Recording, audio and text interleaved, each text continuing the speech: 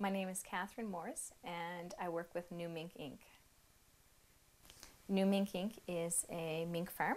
Uh, we started in 2003 with 450 breeder females and we grew it to 10,000 breeder operation in four years.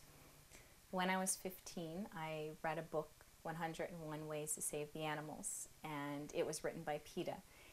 And at that point, I gave up eating meat.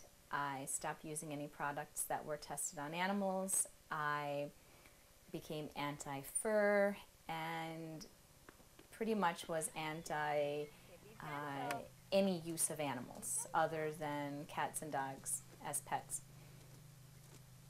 When I was, I guess when I graduated from high school, I went to the Nova Scotia Agricultural College because I wanted to be a vet and I actually met Daphne there because she wanted to be a vet as well. Um, over the first few years that I spent there, I became more familiar with the agricultural industry. I started working more with farmers, visiting farms, and actually um, seeing their relationship with the animals.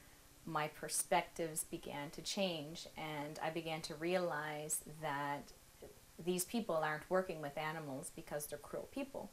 In fact, it tends to be the opposite. They're working with the animals because they have an appreciation for the animals and a respect for the animals, and they actually enjoy working with the animals. Because if they didn't, I don't think that they would do it. So when I was offered this job, I decided to take it. Um, and then shortly after, I hired Daphne because Daphne has her master's in mink nutrition. So together we grew the farm to what it is today. The majority of our feed ingredients are sourced through local fish plants. Uh, we feed probably between 60 and 70 percent um, fish byproducts, and this is providing employment to the local fish processors. And the, the diet changes throughout the year depending on um, the cycle that the mink is going through at the time. We are constantly balancing the diets.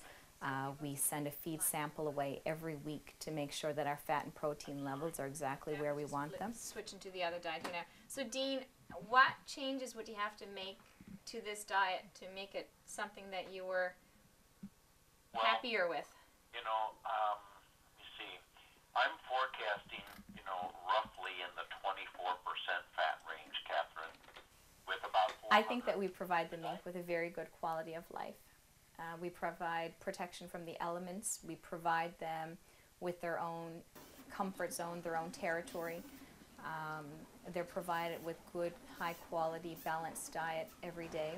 They actually probably eat better than we do. We provide them with fresh bedding, warm nest box. We do health checks three times a week. We walk through the barns and physically look at all the animals and treat any sick ones accordingly. We euthanize mink with a carbon monoxide cart and we put the mink in the cart and they just fall asleep. Very, very, very quick, very, very painless. The mink are all vaccinated to protect them against the main mink diseases.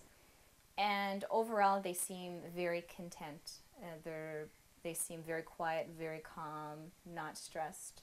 And people actually always comment when they walk on our farm at how content the mink do seem. So I, I think we are providing them with good quality of life.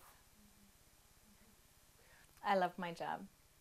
I do. I, I, it is the very last thing that I thought that I would be doing today, but I really do love it.